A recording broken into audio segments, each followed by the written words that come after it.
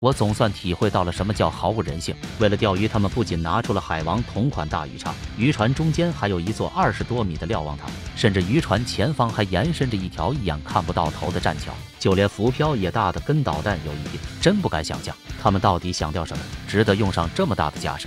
说时迟，那时快，他们此时已然发现了鱼的身影，拿起双叉戟一瞄准，立马刺了下去。下一秒，数条鱼绳齐刷刷地朝着目标前进，就这样轻轻松松地捕获到了一条巨大的鱼，而这竟然是条名贵的剑鱼。众人并没有立即收网，因为他们很快就发现了下一个目标。这回他们直接把大浮漂扔进水里，用来吸引另一条剑鱼。过了几秒。随着浮漂飘回，男人也慢慢回拉鱼绳。可没过一会儿，他就感到吃力，水下的剑鱼竟然猛地朝反方向游走。同伴见状，赶忙上前帮忙，旁边的兄弟就拿着叉戟守株待兔。然而，就算再强悍的巨物，力量也会有耗尽的一刻。男人慢慢的将剑鱼拉出水面，三人合力将鱼拖到甲板上。第一次的尝试就收获到如此的极品，哥几个简直激动疯了。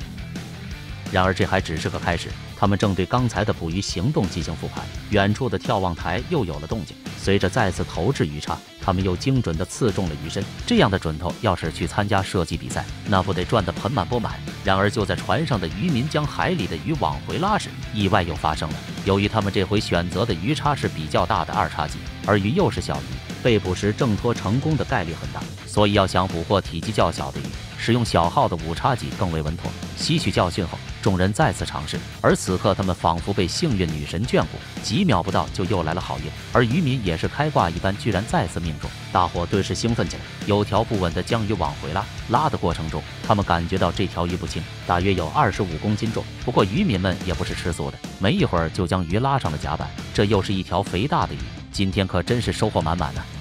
随后，他们计算好今天渔获的总重量，就计划着赶紧打道回府。可谁知道这运气来了就像窜稀，止都止不住。他们居然又又又发现了一条巨大的剑鱼。渔民见状，立即对准，猛地刺了下去，准头还是一如既往。随后就抓紧绳子把剑鱼往回拉，而剑鱼仿佛还不认命，依旧不停地挣扎。不过此时挣扎也没用了，等待他的只剩下一把葱了。虽然这条鱼和前面钓的比不够看，但又总比没有强。今天也算是过足了瘾。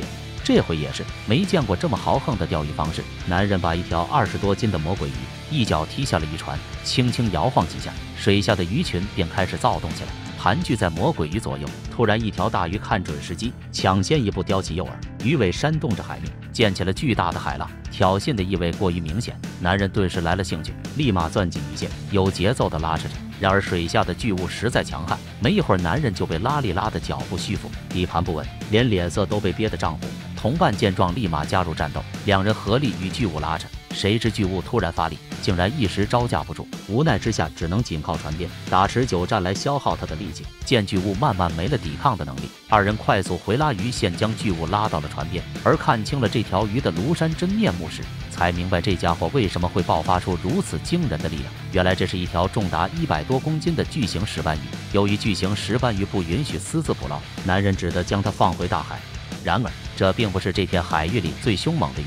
这一次，男人将装备换成了钛合金大鱼竿，如法炮制，甩钩下钓。这次鱼上钩的也很快，巨大的拉力袭来，鱼钩很快就弯成了弓形。这次不用说，又惹上硬茬了。哪怕男人紧紧攥着鱼竿，也依旧被迫随着巨物的游动轨迹变换位置。而这条巨物不仅强壮，还十分狡猾。它猛地朝船底游去，男人看情况不妙，用力拉起鱼竿，巨物却一下跳出水面。好家伙，这居然是一条巨齿鲨！它露出了满口獠牙，一口咬住鱼饵。男人见状，立刻锁紧线轮，抡圆膀子快速收线。然而巨齿鲨的力量也不是吃素的，大鱼围着船的四周逃窜，鱼竿迅速被拉成可怕的拱形，而男人也被带着调整身位。这到底是人钓鱼还是鱼钓人呢？鱼饵被拉扯的渐渐浮出海面，巨齿鲨再次一口咬住，往深海逃去。顿时海面浪花飞溅，巨大的拉力使男人握鱼竿的手不断抖动。危急时刻，一旁的同伴赶紧相助，二人好不容易将鱼竿收回，却发现不仅鱼没钓到，就连鱼竿也险些损坏。长时间的僵持让两人早已精疲力尽。而男人的脚在刚刚的战斗中差点被鲨鱼咬掉，这不禁让二人后背发凉。休息过后，哥俩再次尝试。男人将鱼饵投入水中，果然水中巨物经不起诱惑，再次逼近。男人快速转动线轮，并趁机换上手套，势必要抓到这个可恶的家伙。他又甩着鱼饵试探了几下，没几秒。大鱼腾空而起，死死咬住了鱼饵。临走时还不忘用鱼尾掀起水花。溅了他俩一身水。男人见巨物如此嚣张，便和同伴一起将巨物往水边拉拽，费了九牛二虎之力才将巨物拉到眼前。这次总算是好好的过了把瘾了。看得过瘾，点赞关注，每天带你发现一片新大陆。